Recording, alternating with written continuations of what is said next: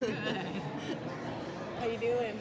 All right. So, will the Canary get to come out to play during Crisis? Oh God, I hope so. I think so, and um, but I'm trying not to keep you know get my expectations too high. Uh, but I hope so. Yeah. So where do we pick up with her at the start of the season? So um, the very start of the season is a bit of a departure. It's uh, we're doing something a little bit different, uh, and um, it's going to. I'll just say that it's going to be a little bit different at the start of the season. It's something uh, different and uh, and unexpected. So I'm very excited to see uh, what people think, what people catch on to what's going on.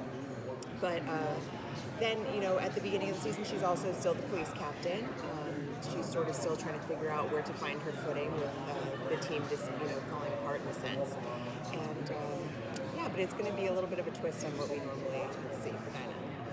Yeah. Do you feel more grounded within your role as you start the season, or is it still finding the footing once again?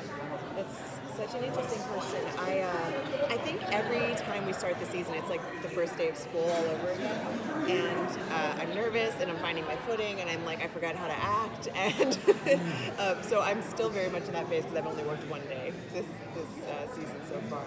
Um, but that's sort of like the beauty of the process. You trip over everything and then you find it. Yeah. What's on your bucket list for Dinah? Because we're not going to be seeing her much longer. Right. Yeah, and I've been thinking about that. Um, and because we only get the scripts, you know, one week at a time, and we're only up to three right now, I don't know where she ends the entire series. Uh, but I just hope that she.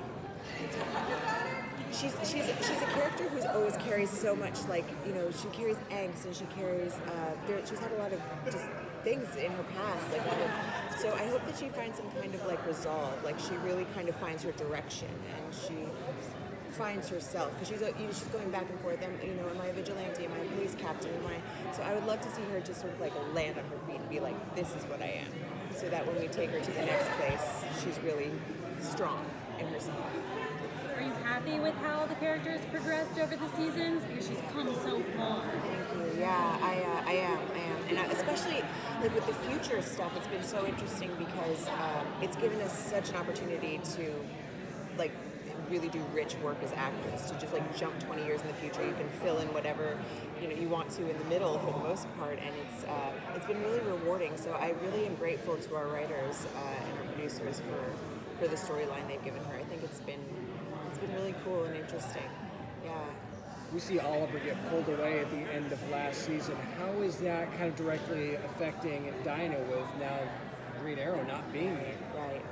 I think Dinah feels a sense of, you know, she has to step up now. I think she feels like, well, you know, who's left and what can we do? And we need to sort of, because the, the hierarchy of the team is, is important. Um, and our leader is gone, so she definitely, also Dinah, Dinah being Dinah, uh, feels the need to sort of step up to that position.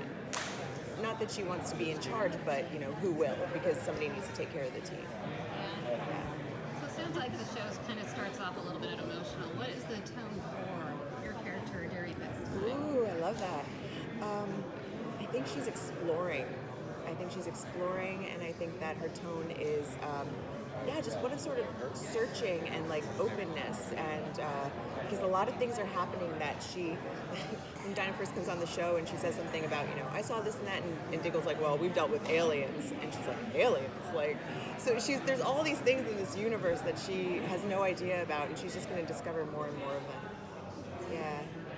Last question. Looking back, what do you hope the legacy of the show is? Oh wow.